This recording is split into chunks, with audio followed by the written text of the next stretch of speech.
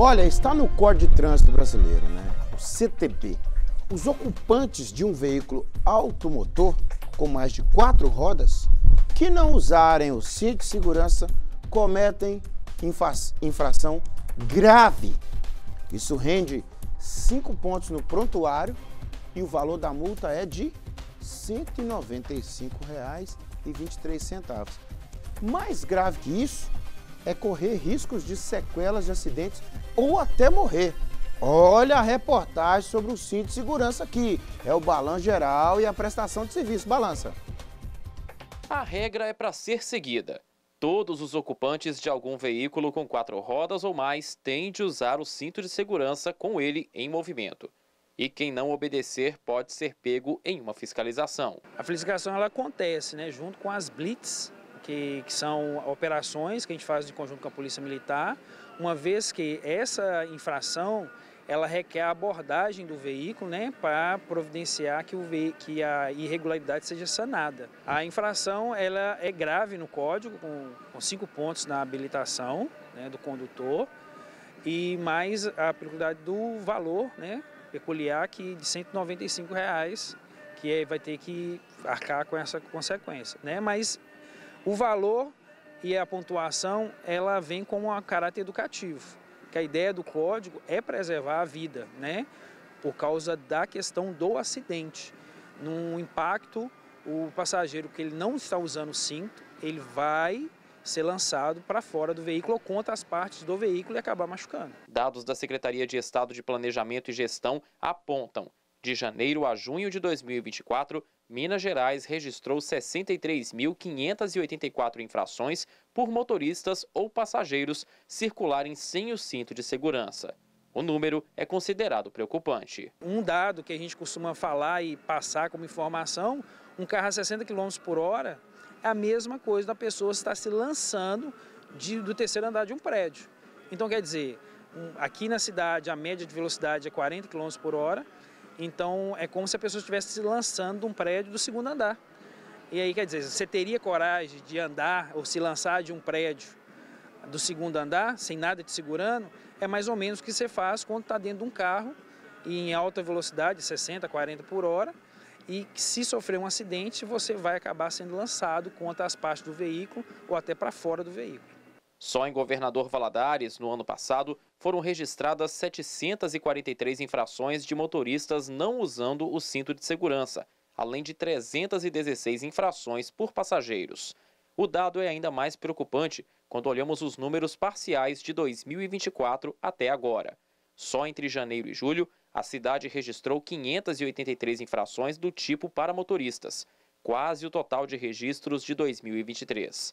Ainda neste primeiro semestre, também foram registradas 159 infrações por passageiros que usavam o cinto de segurança. Este especialista de trânsito explica que não usar o equipamento pode ser fatal. Existem estudos que falam que o seu corpo, o peso do seu corpo, é multiplicado 10 vezes. Tem estudos que falam que é 20 vezes, mas digamos que seja apenas 10 vezes. O, o peso do seu corpo é multiplicado 10 vezes e é lançado para frente num peso multiplicado por 10. Ou seja, dependendo da velocidade. Imagina uma velocidade simples, 50 km por hora, o seu corpo, você tem ali 50 quilos, né, uma pessoa leve ou uma criança, que esse peso é multiplicado por 10 vai a 500 quilos. Ele é jogado para frente contra o motorista que está ali utilizando o cinto, mas ele não está.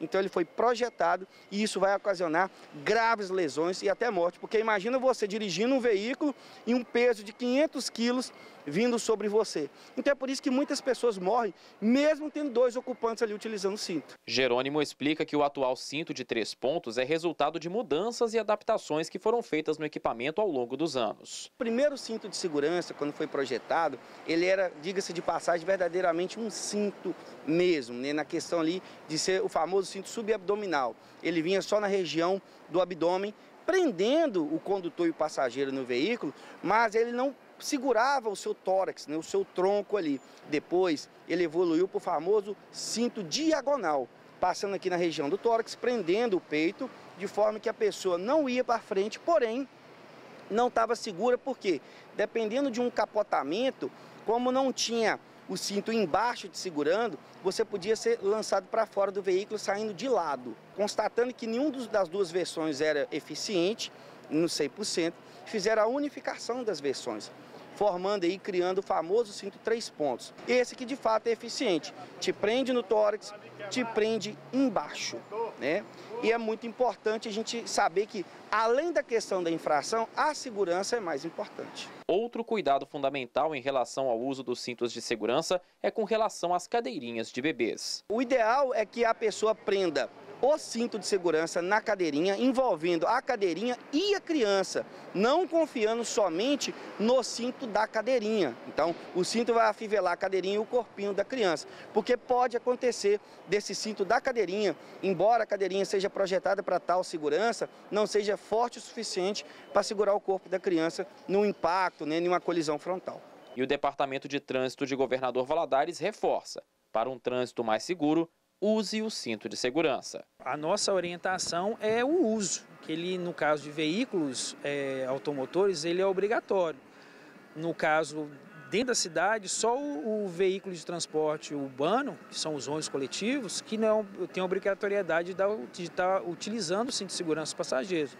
Mas nos outros veículos, é, todos eles têm a, a obrigatoriedade de estar tá usando o cinto de segurança porque é uma questão de segurança para os ocupantes do veículo. É, a gente vê aí que agora as vias estão ficando, é, a pavimentação está melhorando, então a tendência é que o trânsito ele tem uma fluidez melhor, porque o trânsito vai fluir porque a pavimentação está boa, a, a média de velocidade acaba aumentando. Então, para garantir a segurança dos usuários, o interessante é que todos venham a utilizar o cinto de segurança. É, mas não vai nessa de ver o asfalto pretinho lá limpinho e sentar o pé não. É 30, 40, né, Lamone? Continuar com prudência. Tem o pedestre que está atravessando a sua frente, tem o ciclista, ah, tem o idoso. Vamos ter cuidado com isso aí.